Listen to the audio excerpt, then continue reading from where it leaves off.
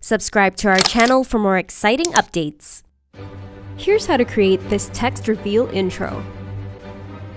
Download the latest version of InShot via the link in our description. Import a blank clip on InShot. Tap Text and type your text. Scale it to full screen. Press the arrow to extend it to the end of the clip and save this video. Create a new project and import a blank clip once again. Tap PIP, import the text video, press autofill to fit to screen, add a keyframe, tap mask, and select the bilateral mask.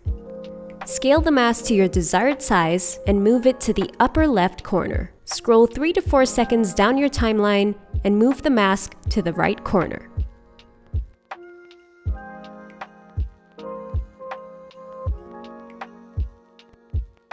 Tap Split, Mask, select the circle mask Scale the mask to the smallest right down the middle, scroll 3 to 4 seconds down your timeline, drag the circle mask to full screen, and that's it! Will you try this text reveal effect? Let us know in the comments. Don't forget to like and subscribe to InShot on our socials.